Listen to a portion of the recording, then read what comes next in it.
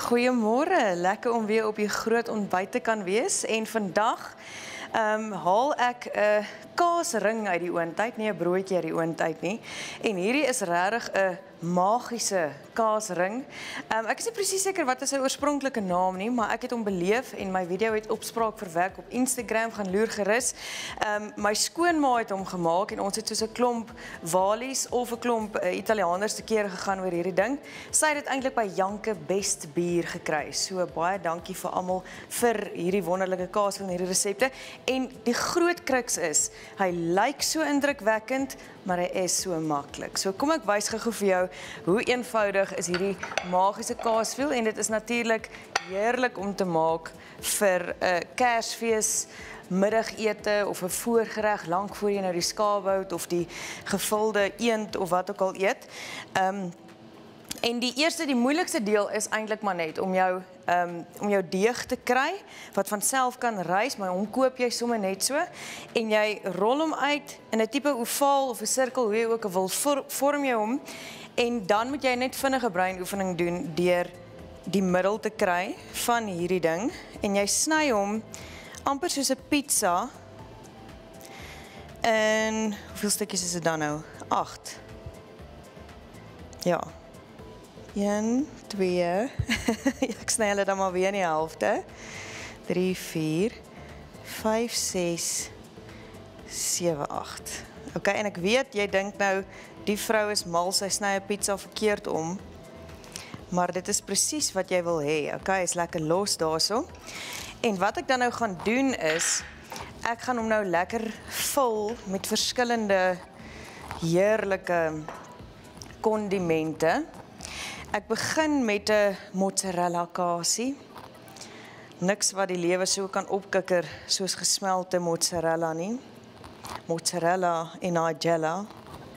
Voel ek nou soos Nigella. En um, jy pak hom hier so aan die buitekant van die ring. Want dit is waar die besigheid nou gaan lê en jy gaan hom half toevou daar. So hier's nou 'n lekker en jy kan maar guil gaan met jou hoeveelheid mozzarella. En ehm um, ek sal nou, nou nog bysit as daar nog bietjie plek is. Dan tweedens kom nou sulke lekker bloppe ehm um, basiliekruid pesto. Ek weet my pa sal nou trots wees dat ek dit so mooi uitspreek. En ehm um, jy sorg maar dat elke stukkie ten minste dan nou 'n blop het, maar hy gaan ook lekker saam smelt en uh, meegevoer word soos enige iemand wat hiervan gaan proe.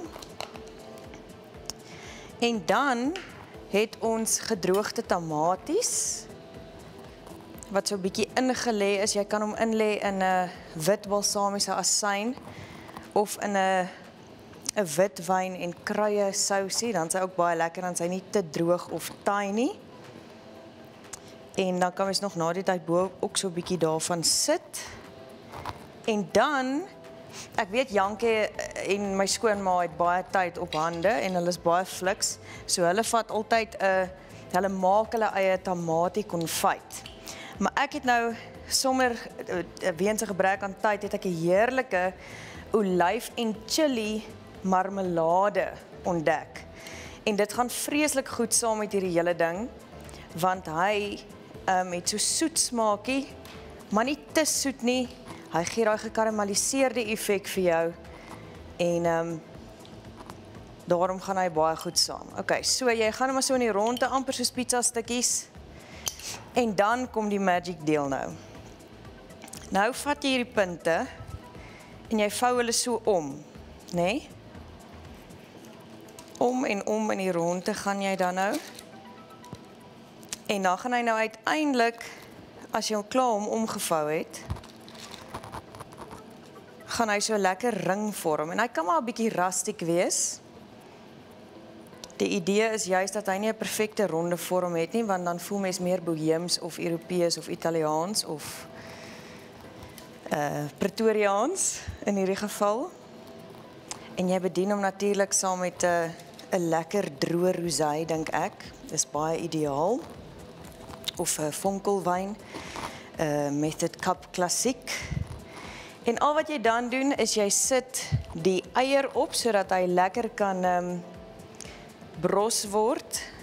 Sit jy nou bo op hierdie hele ding en dan gaan hy in die oond in. Maar voordat ek jou groet, wil ek net vir jou vinnig wys hoe magies is hierdie kaaswiel dan nou eintlik want die idee is dat almal dan nou in hom inklim en hom uitmekaar uittrek. En hier is die verskillende stukke. Kyk net daar. Och, en so bedien jy hom warm met jou glasie en jy vier en skink oor die lewe. Cheers, gaan na Instagram vir die resep toe. Kom ons gaan